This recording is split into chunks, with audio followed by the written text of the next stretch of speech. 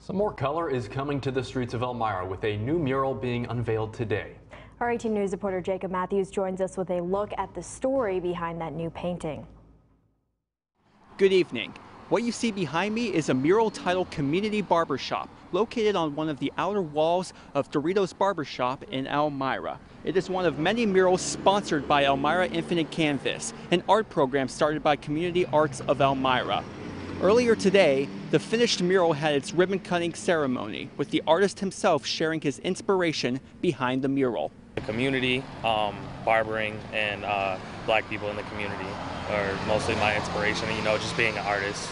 Jarmy made the mural in hopes that it would boost awareness of the community arts and help business at the barbershop grow.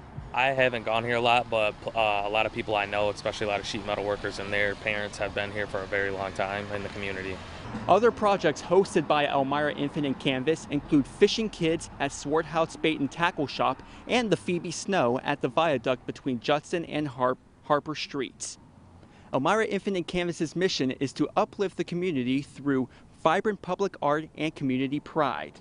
Residents who would like to share an idea to the program can do so by finding the link on our website, mytwintiers.com. In Elmira, I am Jacob Matthews, 18 News.